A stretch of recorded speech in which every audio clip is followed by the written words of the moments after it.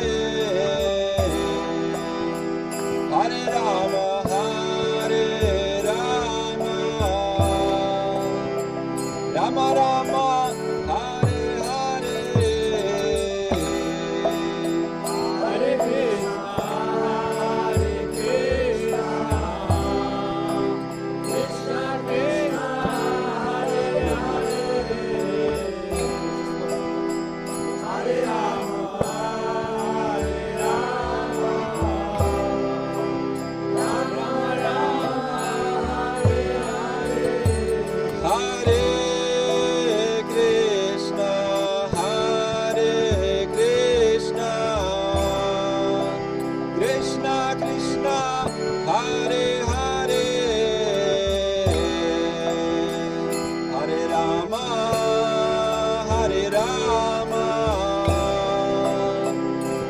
Rama